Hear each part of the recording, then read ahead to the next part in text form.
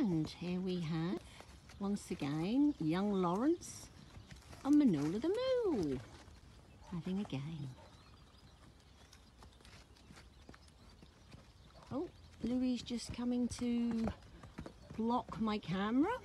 Manolo actually vacated um, Lucero's field because first of all he moved in with him because he decided that he was going to be a horse and then he started to have a game up and down the fence line with Lawrence and now he's moved into Louis' field so him and Lawrence can be together and have proper games.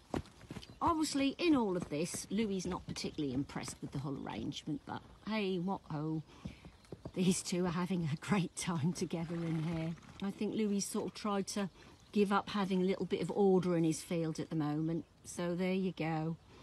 Little and large, having a ball.